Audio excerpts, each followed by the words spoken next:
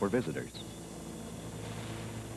The Eagle did not plan to take part in the Parade of Sail or the transatlantic race one week away, but it was a great foretaste of things to come. Meanwhile, the refurbished wharves at Sydport were ready and waiting, and then on Friday, they loomed through the fog off Sydney Harbor, the first sight of the majestic tall ships. Colombia's the Gloria.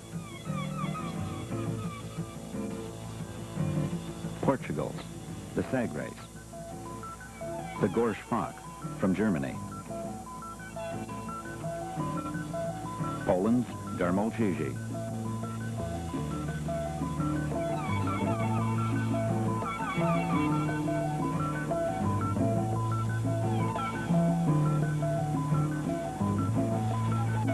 And from the USSR, the Krusenstern, a magnificent sight. All brought in against the wind with the assistance of pilots and tugs.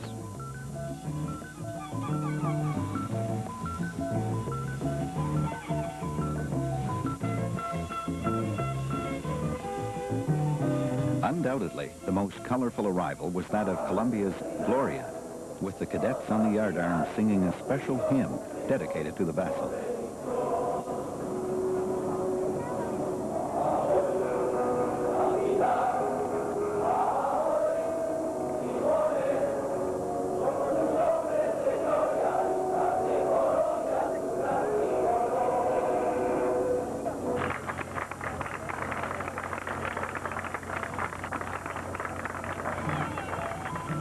Five days, these vessels docked at Sydport, their gangplanks down, welcoming visitors aboard. Viewed from the water level, these vessels were a towering reminder of the old days in Sydney Harbor. Many people took advantage of all forms of small craft to experience this unique point of view. And thousands of people took advantage of the open invitations the ships had issued.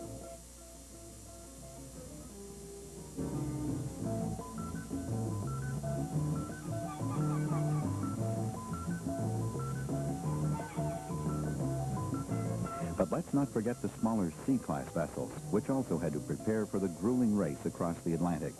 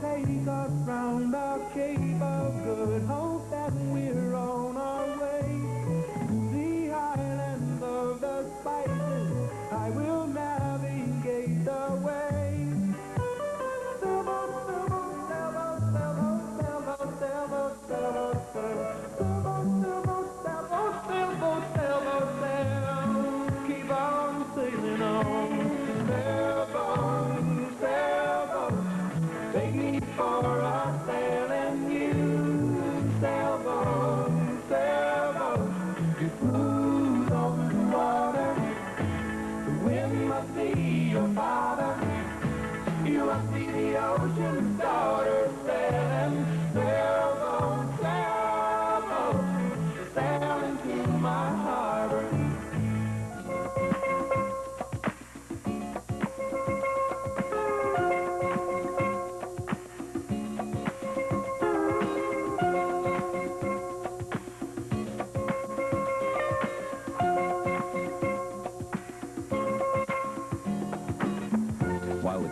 all the ships prepared for the big race, it was holiday time for visitors and spectators.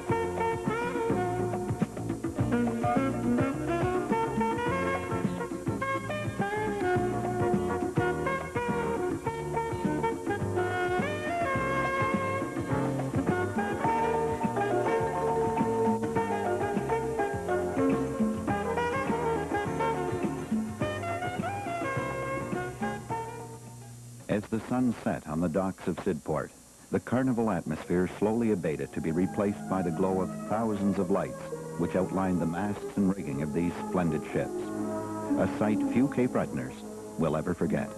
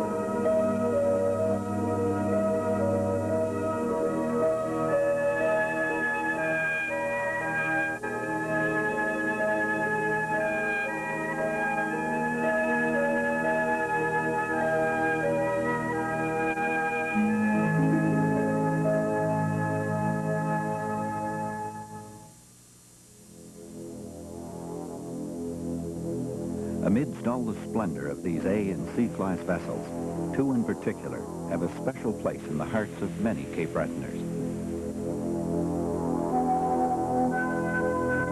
First, Cape Breton's entry in the transatlantic race, the Sorca Bria. A 55-foot double-masted schooner with a wooden hull.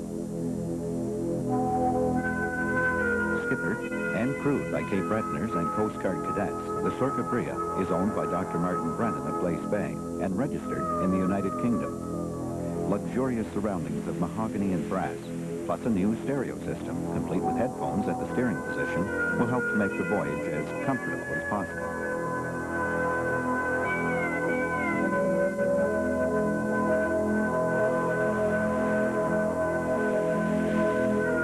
Built by the Stevens family in Lunenburg, Nova Scotia, the Sorca Bria, an Irish Gaelic name meaning beautiful Sarah, was primarily designed for cruising, not for racing. However, she is fast, and her crew is bursting with enthusiasm.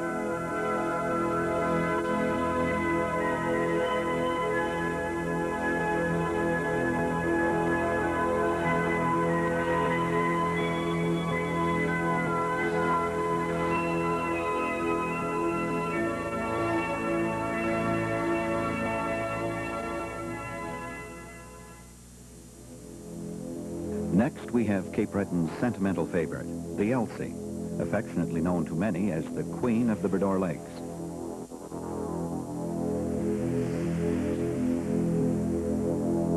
Launched in 1917 at Baddeck, the Elsie was built in Alexander Graham Bell's laboratory at Beinn Bhreagh.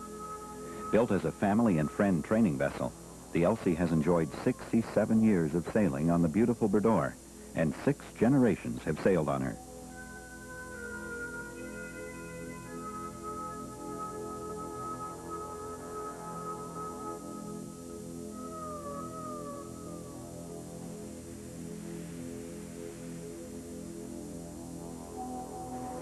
Sail side by side the Bluenose as one of the hosts of the Parade of Sail has indeed been one of Elsie's greatest honors.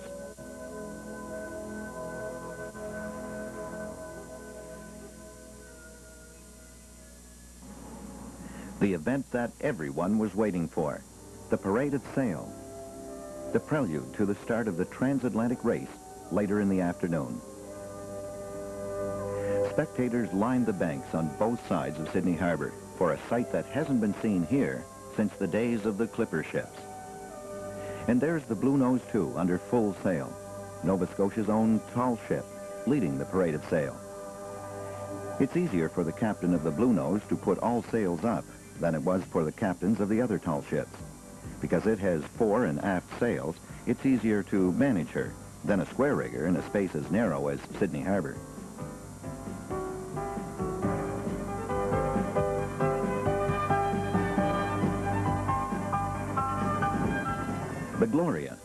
Colombia's tall ship, was the first Class A vessel in the parade. It was one of the most popular here during the tall ship's stay. It captured the hearts of Cape Bretoners the moment it arrived with its spectacular entrance when the cadets sang the hymn, The Gloria, from the yardarms. Its friendly crew never hesitated to show off their ship and to explain their country to whoever asked. It's one of the largest ships, 306 feet long, a four-masted bark owned by the Colombian Navy. The hearts of Old Salts took an extra beat as she gracefully sailed out of the harbor. Also making their way to the open sea were the Class Cs, 20 altogether. These are the smaller ships, under 100 feet in length, with fore and aft sails. They, too, are participating in the transatlantic race. The Aztec Lady is a C-class vessel from Britain. It sails strictly for the training of naval cadets. Many of the Class C vessels are privately owned, but others, such as these, take part in international events not only for the sailing experience, but to give their cadets the chance to meet other young people from around the world. It's also an opportunity to promote international friendship on the sea and to learn from one another.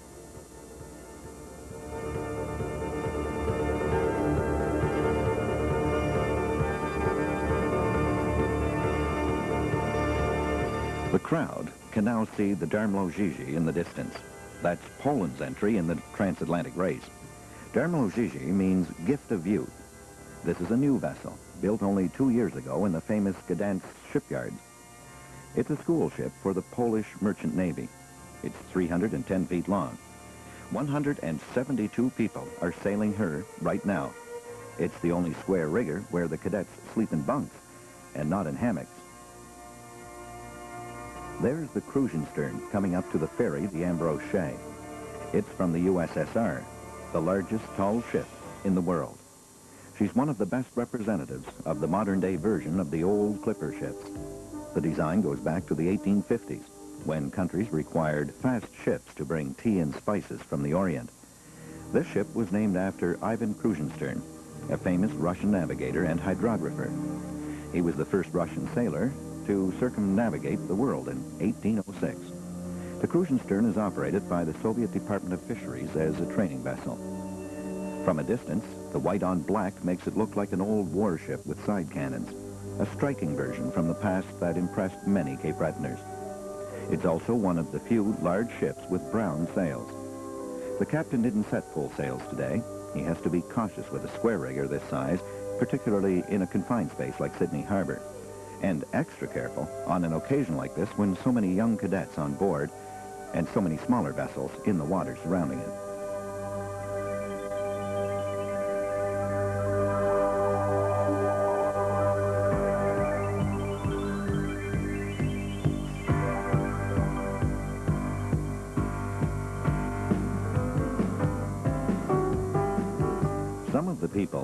Smaller boats in the harbor weren't there that day merely to get a look at the tall ships. To some, like these lobster fishermen, it was just another working day.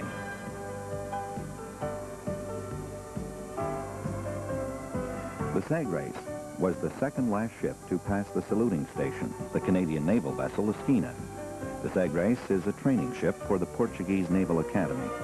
She was built in 1937 for the German Navy was seriously damaged by a mine in World War II, captured by the Americans, and finally landed in the Brazilian Navy.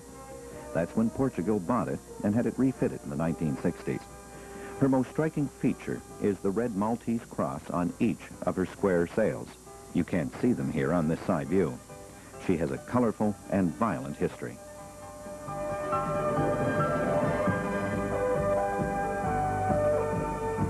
There's the Gorch Fock, as it's pulling out of Sydport.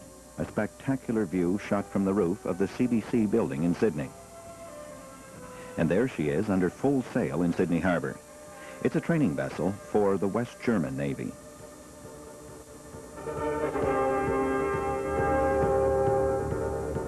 The departure of the Gorch Fock was marked by a flypast of the snowbirds in formation, an unexpected thrill for everyone lining the banks of Sydney Harbor.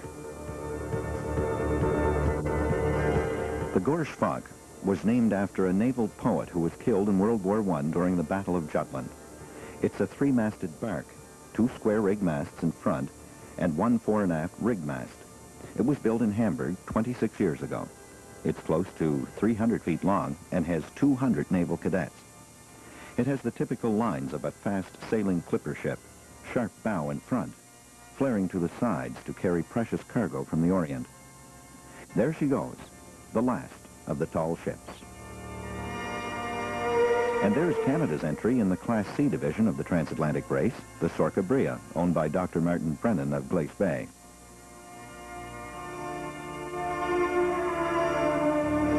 And now the Coast Guard vessel, the Micula, leaves Sydney Harbor. She'll start the race in the afternoon with a cannon shot from her deck.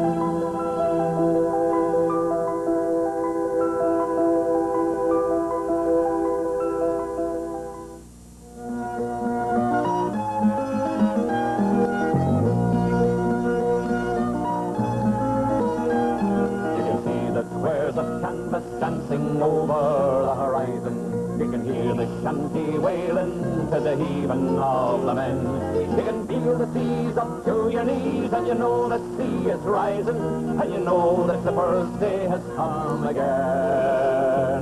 To the man on high, the bosun's cry, command the giving strain, till every mother's son begins to pray.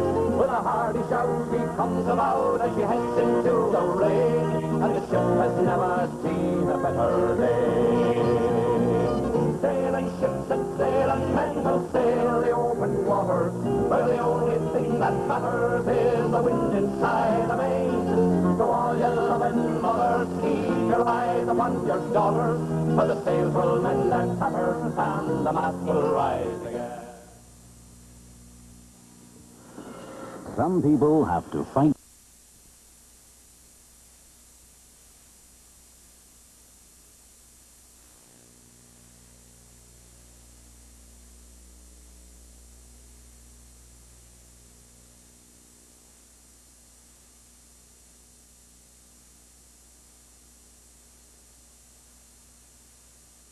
It decelerated a little bit with the globe head, and uh, the ball came up short, and he's not at all happy with that.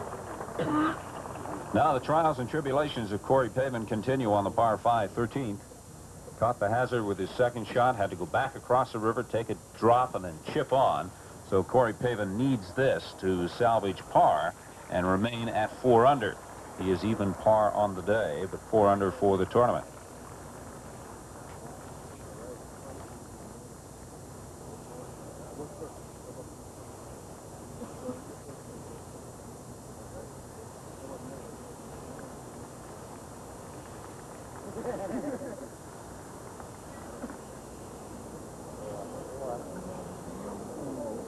He's lost that one low, and uh, so that's bogey for Corey.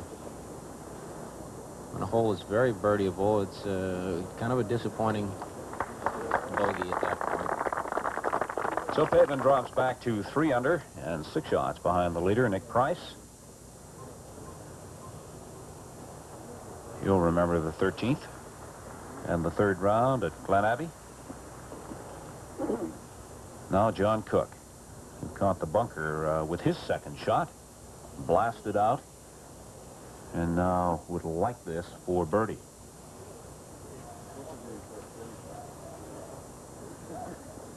How would you read this one, Jim? I think this putt breaks a little bit right from his right to left towards the water, but it does. It's uh, it doesn't break an awful lot. There's a fairly flat spot on this green, and the greens are, have these subtle breaks, but uh, have these subtle flat spots too. You actually think they're going to break, and they don't. So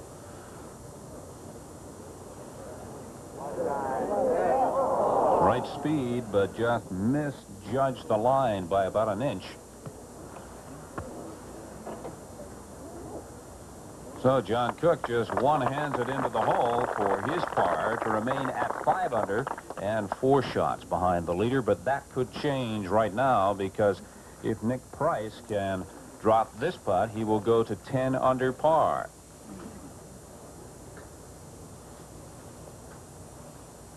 And Price does exactly that. So it's been a, an interesting round for the leader, Nick Price. At one point, he had that 11 under par, and then he went to 9 under. Now he's back to 10 under, and four shots in front of the runner-up, Jack Nicklaus.